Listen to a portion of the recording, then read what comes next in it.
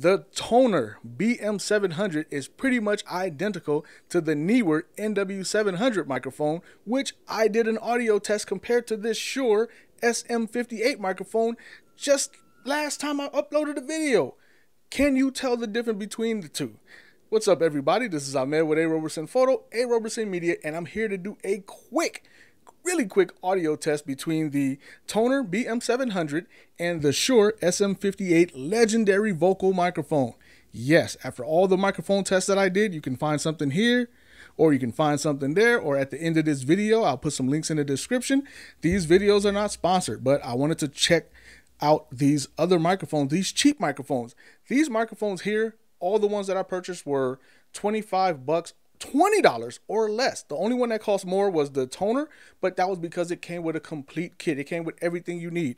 Phantom power, desk mounted arm, uh, pop filter, um, USB audio uh, interface. I mean, it came with everything. XLR cables, the whole shebang, everything that you need.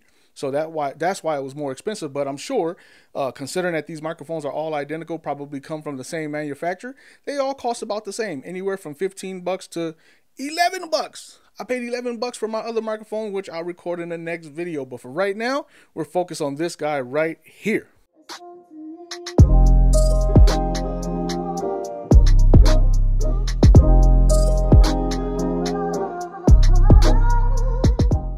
And this microphone right here is the Shure SM58 legendary audio microphone.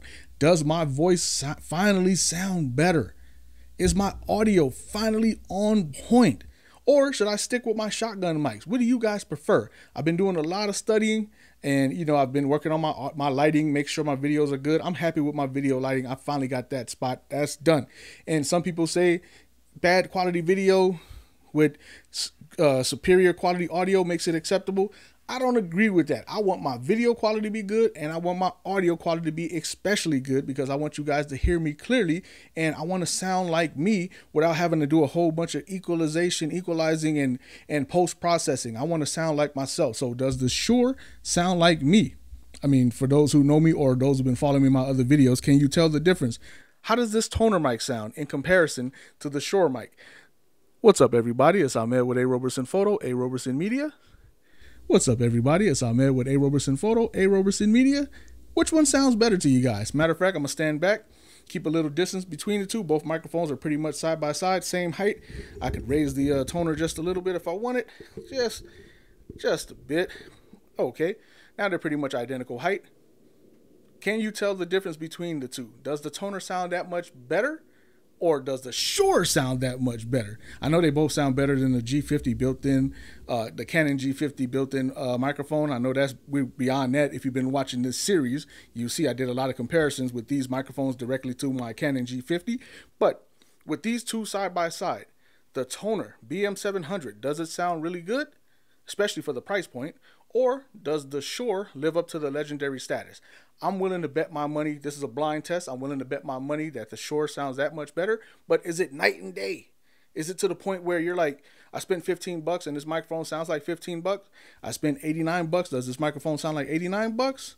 I don't know. I'm just talking just so you guys can try to sit quietly and listen to my voice on both microphones and see which one sounds better to you. But that's enough talking for now. Hopefully, I hope helped you make an informed decision.